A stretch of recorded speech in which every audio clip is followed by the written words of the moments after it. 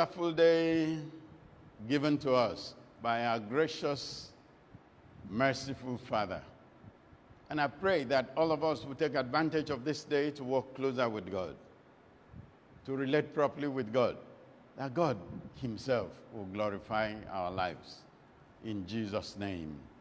Amen. Today we are going to read Psalm 85, verses 8 and 9. Psalm 85, 8 and 9. I will hear what God, the Lord, will speak. For he will speak peace to his people and to his saints. But let them not turn back to folly. Surely his salvation is near to those who fear him, that glory may dwell in our land. I want to hear what God will speak. Are you a child of God? He will speak peace. Are you a saint of God? He will speak peace. God speaks to all manner of people. But is it peace for everybody? No. You know what the scripture says? Say unto the righteous, they shall be well with them. But unto the fellow who refuses righteousness, say it cannot be well with such a person. That's the scripture. So when it says he will speak peace, it specifies to his own sense. Are you a saint of God? Does God see you as a saint? Or you are a saint according to some imagination of your head? You are a saint according to some theory that you and your ilk have come up with. I know when you claim to be in Christ, He takes over. You are a saint. Your righteousness, it doesn't matter what you do, He gives you righteousness. Is that a saint of God? Is that according to the true word of God, according to the proper application of the scripture? Or some surface thing that encourages you to live according to the devil and claim that God is making you a? If indeed you are a saint of God, today is a day of peace for you. But it says, don't turn back into the other path. That's what I am saying. If you claim to be of God, live like God. If you claim to be in the grace of God, live in the grace of God. He said, The grace of God has appeared to all men, teaching them to live righteously in this world.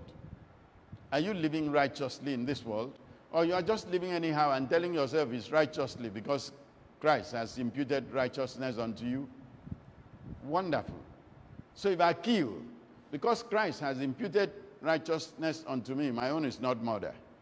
The other fellow, on whom Christ has not imputed righteousness, he kills, that one is murder. Are you crazy? Murder is murder. Killing is killing. Adultery is adultery. Lying is lying. Whoever does it is guilty. He said, Don't go back into that life. You are a saint of God, live unto God.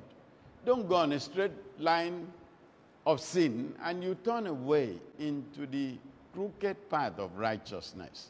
But you now tell yourself the path is too crooked. He said the way is narrow. That's what Jesus said. And few they are that find it. Now we are talking about an expressway into heaven. I don't know who came up with it. Because if Christ is the only way to heaven, and he says his own path is narrow, and your own, you are talking about an expressway, you have to have a new Christ. Or for you, it's not the only way to heaven. There must be another track you are following. Christ's own, it's narrow path, winding path, difficult to traverse. Because there are all manner of things on the way. But the satisfaction is that there is the Holy Spirit. They that are led by the Spirit of God, they cannot fail. They are the children of God. Those are the ones to which I am speaking peace today according to the word of God. Is I'll listen to what God, the Lord, will say before he will speak peace to his saints. But don't return to the other side so that that peace will continue. Verse 9 says, Surely his salvation is near to those who fear him. How do you fear God? By shaking? No, by obeying him. Whoever fears the Lord obeys his commandment. That person is the friend of Jesus. Jesus said, If you obey my commandments, you are my friends. And that's the person he's going to glorify. He said that glory may dwell in our land. How will the glory of God be seen in our lands? By us. When you live unto God, when you fear him, when you obey him, when you keep his commandments, he brings his glory upon you. If it was a community of a million people and only a hundred were able to live, that the glory of God comes upon the hundred, the place is transformed. You don't need a million people to transform a society of 10 million. You need far, far, far less than that. So, what if the million people existed and did things like that, or even 5 million, or any number higher than that? But if it were you only, be that single person, there was only a Lot in the land of Sodom and Gomorrah, and it was the only one that was set free. Wherever you come from, whoever you are, be that person. You know the wonderful thing, the book of Ephesians, the very first verse.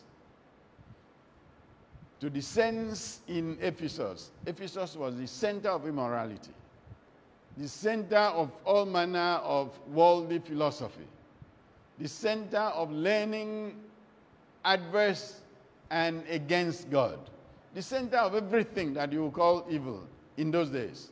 But there was sense in that land. Can you be that sense? If you are, that peace is for you today. If you endeavor to be it, even if you were not, this peace I am talking about is your portion today. But do not turn back to the other part. And God will uphold you. The Spirit of God will go with you, and the glory of God will come upon you and distinguish you from everybody else and keep a path of glory for you continually unto the end. The Holy Spirit never gives up on anybody. Jesus has never given up on anybody. But we give up on him because we turn away to folly. Don't turn back. Continue, and he will uphold you gloriously unto the end. In Jesus' name.